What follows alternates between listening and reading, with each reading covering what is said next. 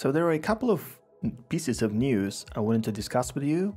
Uh, one being that Epic Games invested in SideFX and uh, that Blender got nodes for geometry finally. So uh, let's unpack. There is a little bit to talk about each of these pieces and I just wanted to share my personal thoughts on the matter and get you know get your comments and suggestions and ideas on the topic in the comments as well. So let's have a discussion upon me just waking up and seeing this piece of news, I was like, wait a minute, is this really happening? And I had to double check, and yes, apparently, Epic Games invested in SideFX. Now, there are a couple of things. First of all, they say that they are now a minority inve inv investor. And to my knowledge, you can be a minority investor if you own 49% of the company, right? Because I don't know. I think Epic has the money girth, so to speak, right? The just the amount of cash to outright buy SideFX, and they could not because I guess the co-founders of SideFX and Houdini they possibly just refused to do that. Now, owning maybe maybe they now own maybe uh, epic now owns 49% of SideFX i don't know. That's a minority stake. Um, i don't it's just kind of like me thinking out loud at this point right? So i don't know. What what do you think? Now the problem uh, it's not the particular problem now. This piece of news rubs me the wrong way. Uh, honestly it rubs me the wrong way for a reason uh, which has to do with blender because Epic previously supported the Blender Foundation with one or two million dollars investment. I don't remember exactly, but if I'm not mistaken, it was supposed to be kind of uh, they gave that amount of money uh, through the two or three years of development, and these investments in effects might possibly mean for me personally. I don't know what you think about this, but I think uh, this might shift the focus of Epic Games and Unreal Engine development of plugins from Blender to SideFX uh, Houdini, which kind of sounds fine, but the, man- the matter of fact is that Blender is open source and it is freely available to everyone, whereas SideFX is not open source um, and you know, uh, to actually use the at least the Indie, you have to pay money for that. So that's a little bit of a kind of like kind of like a thought I have in my in the in the back of my mind because it seems to me that Epic might be signaling that they might uh, just stop, you know, bothering with Blender because obviously Blender people do whatever they want, and I personally love what they're doing. Right? Uh, but maybe investing in SideFX, Epic thought that they could um, kind of be uh, more invested in the development of Houdini and plugins and everything else, like rendering engines or the PDG or KineFX, anything that has been developed by SideFX, uh, which comes with Houdini packages or otherwise. So yeah, I, I don't know. Now, I'm saying this because previously Epic had a couple of games that was like the Unreal Tournaments 4 or 5, whatever it was called, right? So that was supposed to be um, ongoing development and yada, yada, yada. But then they started developing Paragon. And uh, when, when they uh, converted their Fortnites from base building game to the battle royale and it, that became popular. Basically what happens is that they gave up on developing unreal tournaments and paragon and despite the investment of millions of dollars previously in those two, two games they didn't care it just moved on uh, moved on to fortnite. So this is why I'm saying this rubs me the wrong way because they might just give up on developing for Blender, which is terrible in my personal opinion. Um, especially considering I'm not sure how Houdini development will even you know fit in that, but we'll see. For now, Houdini is hell bent on promoting their um, Solaris, uh, the USD implementation, and for me personally, this is just not great for using as as like a small studio or solo indie developer or creator, whatever.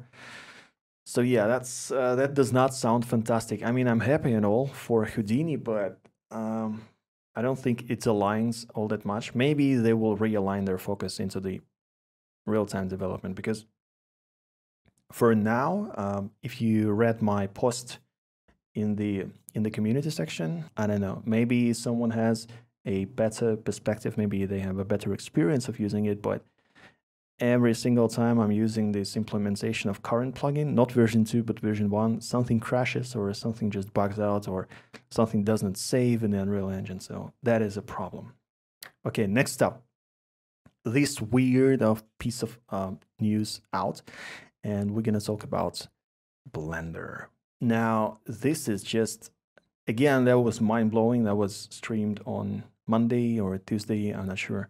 So as you can see, there is um, the latest stream uh, was about geometry nodes. Pablo was showcasing the geometry nodes with Dalai. And from what I have seen, it's it's kind of like the, oh, well, it's the future of Blender, right? So uh, let's dive a little bit deeper inside of the nodal system of Blender and see what they got. So I will just uh, copy these links in the description below so you can read yourself and see uh, what do they have. So anyway, uh, let's see what do they have. Now, there is there is like a November 9 blog post about this Nodes Modifier Part 1 Sprite. So basically they're working on a new production that is called uh, what is what is it called? Sprite Fr Sprite Fright, right? And uh, they are currently uh, in the first sprint, I think, or whatever they call it. Yeah, the initial sprint from October 19th to 30th. Uh, possibly they have the second sprint right now. So what does it mean? It means that they are creating the design and they outline how the nodal system will be developed. Now, from, from what they have showed us uh, already, it kind of really does look like, um, whoops, uh, whoa. It kind of looks like almost like um, the nodes nodes from Houdini using some sort of implementation of VOPs. Uh, let me explain a little bit. Uh, so uh, the first image is saying pebble scattering. As you can see, uh, we have the modifier inputs, geometry, object, uh, density, and angle. And as you can see that uh, somehow they're going the distribution, rotation, and scale. They're going into the, um, so the object goes into the instancer and the modifier output is what would be scattering. So it's kind of like uh, copy to points in Houdini if you use that one, but however, uh, kind of weird that they are uh, doing the distribution, rotation, and scale through the geometry and not through the point scattering, which kind of uh, is a little bit strange to think about it. Uh, maybe they are just, you know, maybe they will improve it somehow, but I, I actually do not see input from anything else.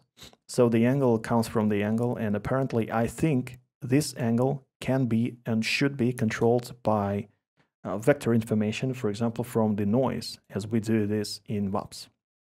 Now, next up, random rotation node. Uh, apparently, it's um, it possibly is the node for um, just a standalone node that can uh, creates a randomization of the rotation. Now again, the output is geometry and I guess this geometry is that you are actually working on. Now then you add attributes and uh, the group input somehow has a rotation maximum that gets into the end. So th the current situation that is being outlined is that you work not, uh, you kind of work as we see here uh, points of scatter are being assumed as initial geometry.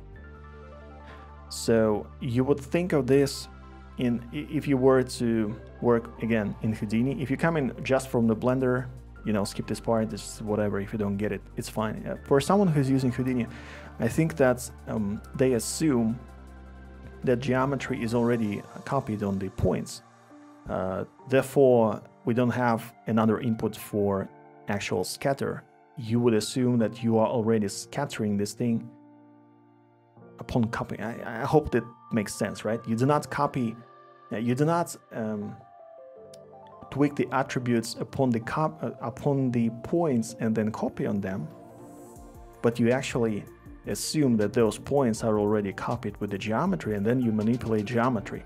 I'm not sure how that will work with instantiation though. I hope they keep that in mind, right? Otherwise it will just be lagging horribly, but I think they're not stupid.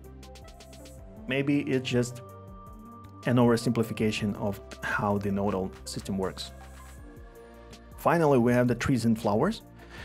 And this is interesting because it's kind of uh, works a little bit more like the attribute VOP from Houdini. Um, so what we have is the texture, and I'm assuming that the texture can be inherited or read from the noise that you can kind of, as if it was a shader, go and overlay over your geometry. Then they go through the color ramp. This is exactly what we were doing in attribute VOP. And so we create the attribute of the scale, right, as you can see. And we then do a little bit of math. And using that we then copy the trees and flowers. So basically we do a little bit of different scaling uh, on the copies. And then there we have the point instancer. So which is apparently a node that will be in the right sidebar if you're using the default layout of blender. So all of that all of that is really really inspiring although again i'm saying this with a caveat that man i'm I'm not, I don't know, I'm, I have not kind of wrapped around my head around the news about how, well, Epic invested in SideFX. I mean, seeing how Blender now will have nodes and next year, I think Blender 3.0 will be more or less have the foundation for nodal systems in place. It's kind of like, it stings a little bit, doesn't it? I'm not sure. Maybe it's just me, uh, you know, feeling this. Maybe you feel this the same as I do. I don't know. Let me know. So that was like, you know, just a couple of news, uh, nothing. It's kind of like your morning coffee, me talking about things, right? About the news. So, um, yeah, generally speaking, let's just get excited about the Blender, the Blender nodes. And obviously, yeah, like I said, I will be posting the link and you can read a little bit more about this, but I think I explained it. Uh, well, I, actually, I think I explained it horribly. anyway, uh, that's just me rambling at this point. Thanks for watching and see you next videos. Bye bye.